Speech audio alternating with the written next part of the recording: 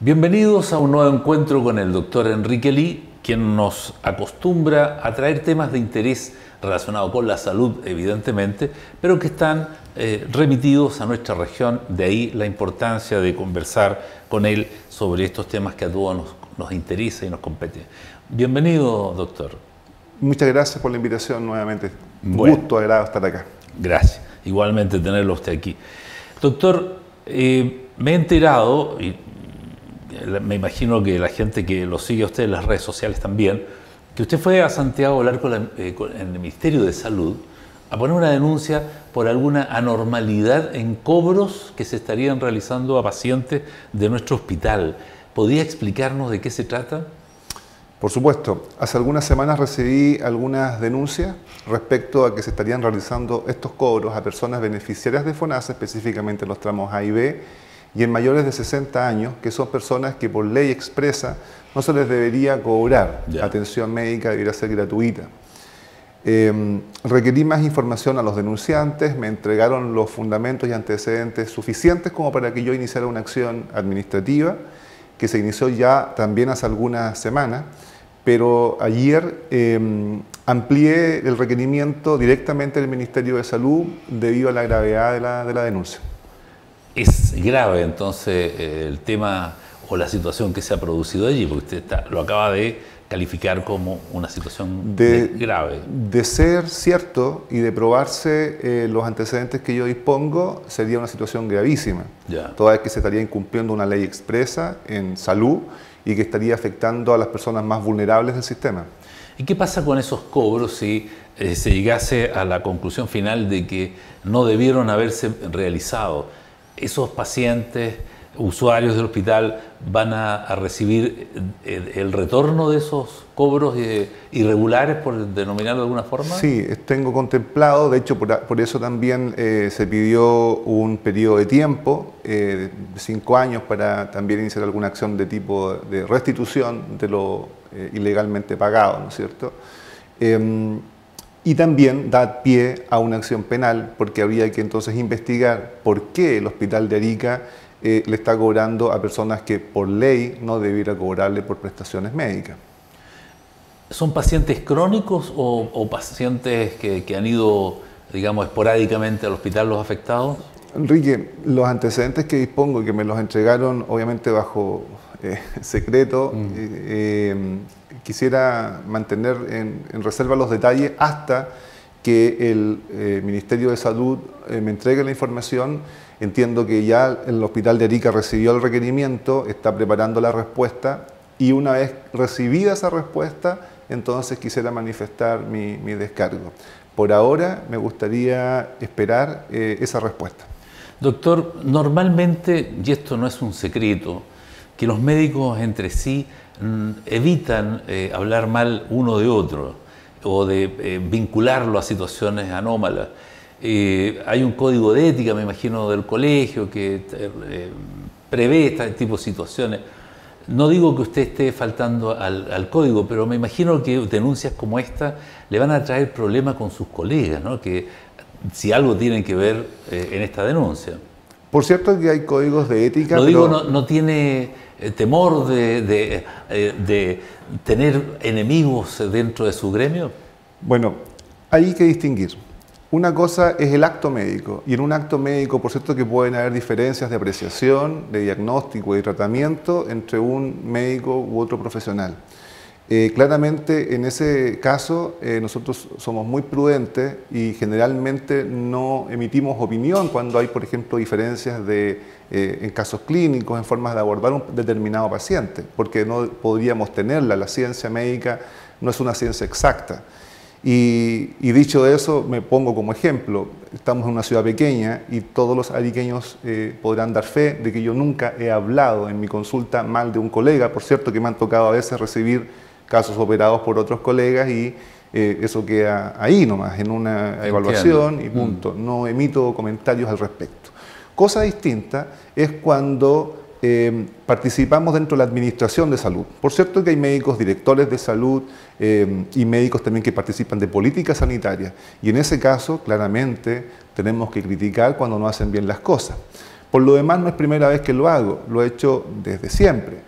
Eh, esa actitud crítica a lo mejor me ha traído muchos problemas, pero recuerdo, por ejemplo, por ocasión del terremoto de, eh, en Arica, Enrique, que eh, cuando estuvo el monobloc afectado y gravemente afectado, yo entré con requerimientos para que nos trasladáramos de ahí.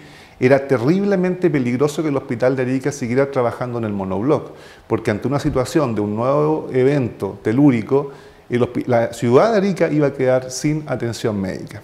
Por cierto que se consiguió el traslado a lo que todos conocemos como que era la, maternidad, antigua. Y eso partió con un requerimiento mío. No fue muy público, fue más bien interno, pero claramente me significó eh, un cierto aislamiento dentro del mismo hospital por parte de las autoridades de salud. El año 2013, todos recordarán también que hice denuncias también graves respecto a la no implementación del SAMU. El SAMU, que es el Servicio de Atención Médico de Urgencia, es un elemento eh, aprobado como una buena política sanitaria a nivel internacional. La Organización Mundial de la, Salud, eh, eh, que pertenece a las Naciones Unidas, lo sugiere a todos los países como un elemento que salva vidas. En el fondo es llevar la atención médica al sitio, al lugar del evento, del accidente o de un infarto cardíaco, etcétera, para adelantar la atención médica. Eso en Arica no estaba implementado. Y fuimos la última ciudad en implementarlo. Y se implementó gracias a una acción directa que hice en el Ministerio de Salud respecto al tema. Arica estaba recibiendo los fondos para ese modelo de atención, pero no se estaba eh, implementando. ¿Para qué decir de la denuncia de la contabilidad paralela, de la denuncia que hice con respecto a la falsedad de que las listas de espera auge en Arica eran de cero pacientes, como hace algunos años se nos dijo? Se nos dijo también que la posta de urgencia tenía un 95% de índice de satisfacción, otra gran mentira, y así he hecho varias denuncias que han permitido mejorar la calidad de atención médica de los ariqueños. Ahí habría que incluir también el tema de los exámenes a los pacientes afectados por los polimetales, ¿no? que también se falsearon o se escondieron los datos, eh, digamos, reales de los resultados de esos exámenes. Qué terrible y qué vergonzoso, Enrique. Y esta cuestión no es política, porque, ok, em, no, es la salud de la gente, ¿no? Y pongamos un ejemplo de cada lado. Fíjese, mm. el tema de esconder resultados de exámenes. Es un delito flagrante. Quien haya ordenado esconder los exámenes de personas contaminadas con metales pesados en Arica claramente es un delincuente. Así, de frente. No importa un camino que sea médico o no médico, me da lo mismo. Es un delincuente y que pertenecía al, a la ¿no cierto? política de la nueva mayoría.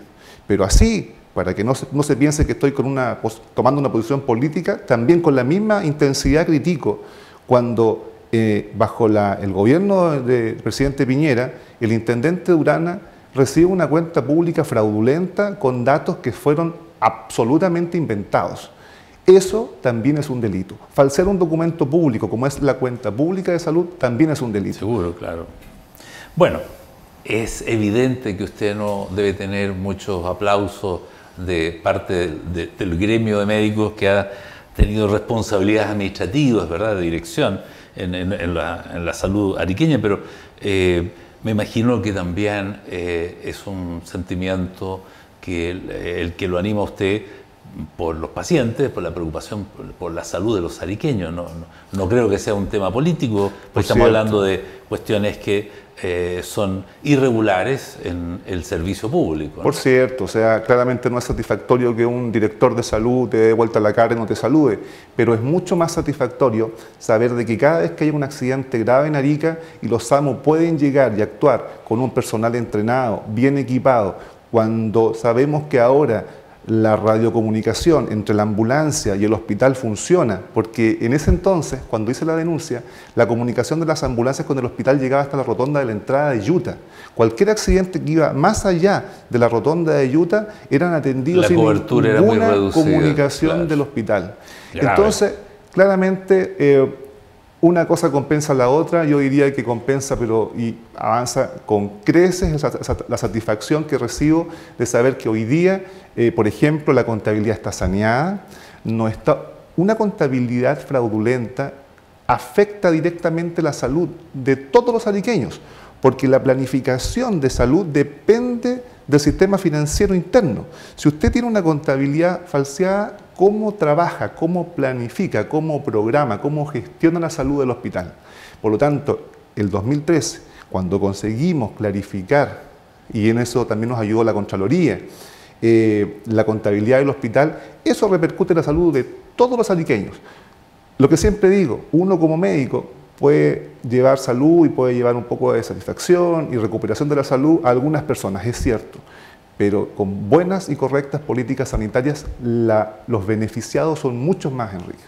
Bueno, eh, si siendo médico eh, ha tenido la capacidad y la decisión de velar por la salud de los pacientes de ICA, me imagino que ahora que está pronto a titularse abogado, tendrá argumentos jurídicos mucho más potentes todavía para seguir defendiendo a los ariqueños. ¿no? Por cierto, todos los requerimientos que estamos haciendo en el Ministerio de Salud, por cierto, aproveché eh, mi estadía en Santiago para hacer algunos requerimientos al Ministerio de Bienes Nacionales, no tiene que ver mucho que ver con salud tal vez, pero con argumentos jurídicos y con una visión eh, de la realidad social eh, que te da el conocimiento de las leyes, del ordenamiento jurídico, por cierto, y que pretendo colocar a disposición de los ariqueños también eh, en todo ámbito y especialmente en salud. Yo no pretendo eh, ir a trabajar a tribunales como abogado, pero por cierto que el ser abogado en, algunas semanas más va a ser un buen complemento para defender a los ariqueños en el ámbito que sea.